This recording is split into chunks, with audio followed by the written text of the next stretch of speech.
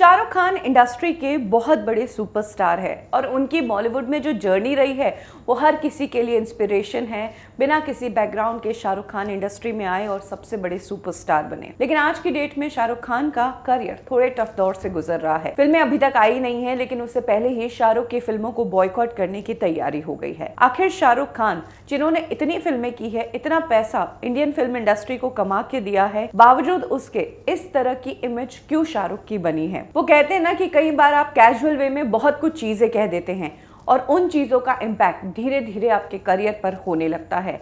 आज शाहरुख खान के करियर को लेकर जो कुछ भी हो रहा है, उसमें कह सकते हैं कि इसका थोड़ा बहुत रीज़न उनका एटीट्यूड और उनका घमंड भी है। इनफैक्ट एक बार तो ऐसा हुआ, जब शाहरुख खान ने एक इंटरव्यू के दौरान ये तक कह दिया कि बॉलीवुड इंडस्ट्री में वो आखिरी सुपरस्टार है, उनके बाद कोई भी सुपरस्टार है ही नहीं। शाहरुख खान से पहले बॉलीवुड इंडस्ट्री में कई सारे सुपरस्टार्स आए राजेश खन्ना साहब आए, दिलीप कुमार साहब रहे, अमिताभ बच्चन रहे, लेकिन किसी ने भी इस तरह का एटीट्यूड या इस तरह का घमंड अपने करियर या स्टारडम को लेकर नहीं जताया।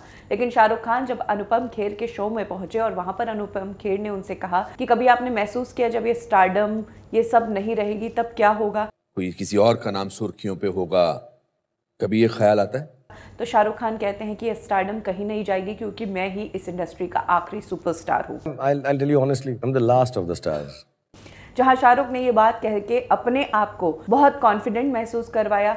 वहीं उन लोगों का क्या या उन एक्टर्स का क्या जो आगे चलकर शाहरुख की तरह स्टारडम देखना चाहते हैं? जब भी कोई इंडस्ट्री में न्यू कमर आता है तो उसे अपनापन चाहिए होता है कि उसके सीनियर उसे साथ लेकर चले और अपना ले। लेकिन शाहरुख के इस तरह के बयानों ने अक्सर लोगों को नाराज़ ही किया है। आपको क्या लगता है, क्या शाहरुख के इसी तरह के स्टेटमेंट्स के कारण आज वो मुश्किल में है? कॉमेंट सेक्शन में ज़रूर शेयर करें।